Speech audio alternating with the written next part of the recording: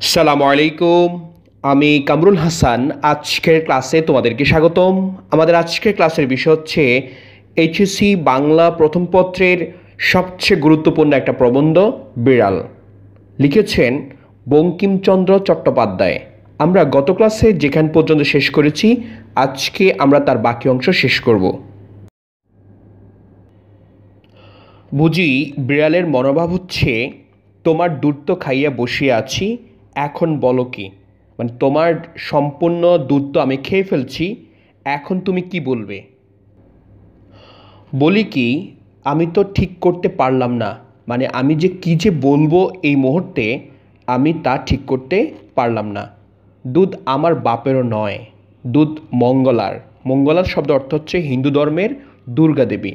দুহি আছে প্রসন্ন প্রসন্ন হচ্ছে গোয়ালিনী।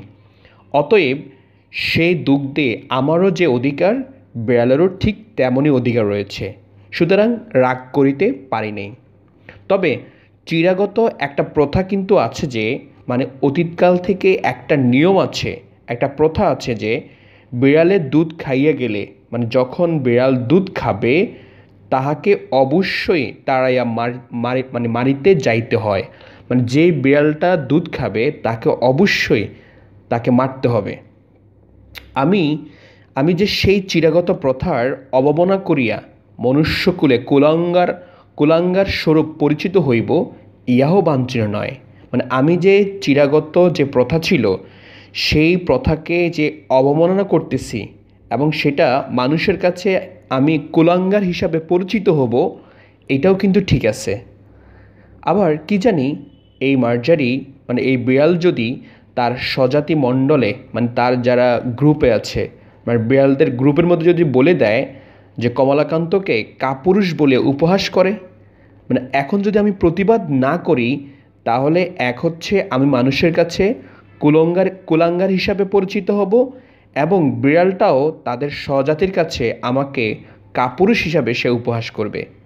অতএব পুরুষের ন্যায় মানে পুরুষের ন্যায় আচরণ করাই বিদেয় অতএব আমাকে অবশ্যই একজন পুরুষের মতো আচরণ করতে হবে। এখানে কাপুরুষ হলে হবে না।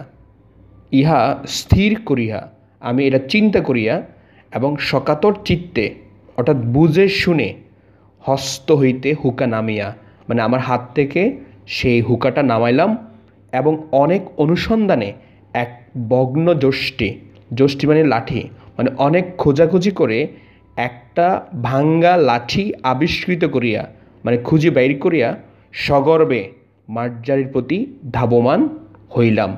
মানে আমি অনেক খোঁজাখুঁজি করিয়ে একটা ভাঙ্গা লাঠি পাইছি এবং ওটা লইয়া তারপর হচ্ছে বিড়ালকে একটা দৌড়ানে দিলাম।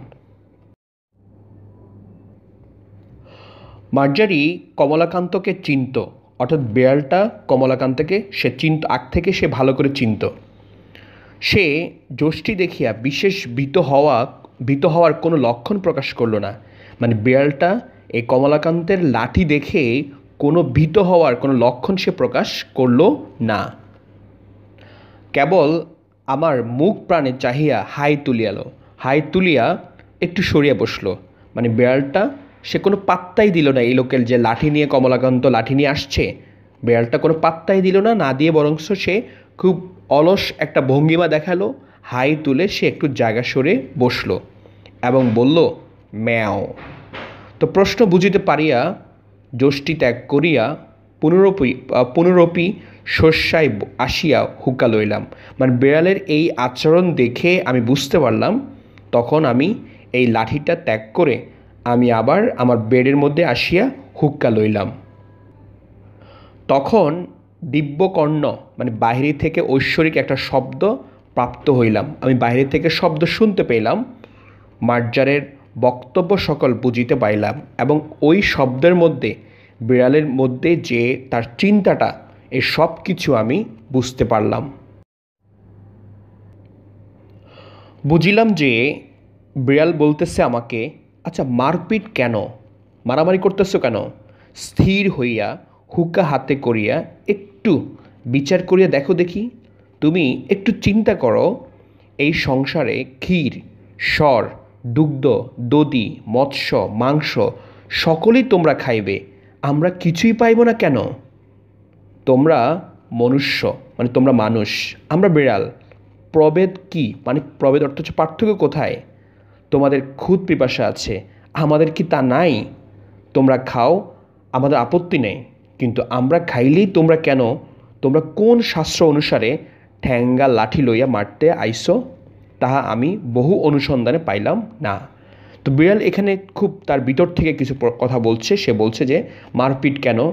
তুমি স্থির করিয়া হাতে, হুক্কা হাতে করিয়া একটু চিন্তা করো।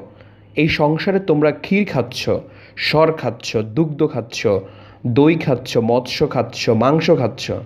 তো আমরা কি কিছুই খাইব না? তোমরা মানুষ ঠিক আছে, আমরা বিড়াল। এ পার্থক্যটা কোথায়? তোমাদের খুদ যেমন খুদ পিপাসা আছে, আমাদেরও তো তেমন খুদ পিপা- পিপাসা আছে। তোমরা খাও। আমাদের কোনো আপত্তি নেই, কিন্তু আমরা খাইতে গেলেই তোমরা কোন ধর্ম অনুসারে মানে কোন শাস্ত্র অনুসারে তোমরা আমাদেরকে লাঠি নিয়ে মারতে আসছো? তাহা আমি কোনোভাবেই কি বুঝতে পারলাম না। তোমরা আমার কাছে, তোমরা তোমরা আমার কাছে কিছু উপদেশ গ্রহণ করো। আমার কাছ থেকে কিছু শিখো। বিজ্ঞ চতুষ্পদের কাছে শিক্ষালাভ ব্যতীত তোমাদের জ্ঞানের উন্নতি উপায়ন্তর আমি দেখি না। মানে আমাদের মতো এরকম বিজ্ঞ বিড়ালের কাছে শিক্ষা ছাড়া তোমাদের জ্ঞানের উন্নতির আর কোনো উপায় আমি দেখি না। তোমাদের বিদ্যালয় সকল দেখিয়া আমার বোধ হয় মানে তোমাদের স্কুল কলেজ দেখিয়ে আমার খুব বোধ হয়, তোমরা এতদিনে এই কথাটি বুঝিতে পারিয়াছ। তো আশা করি তোমরা এই পর্যন্ত বুঝতে পেরেছ। ধন্যবাদ সবাইকে। সালামু আলাইকুম রহমতুল্লাহ।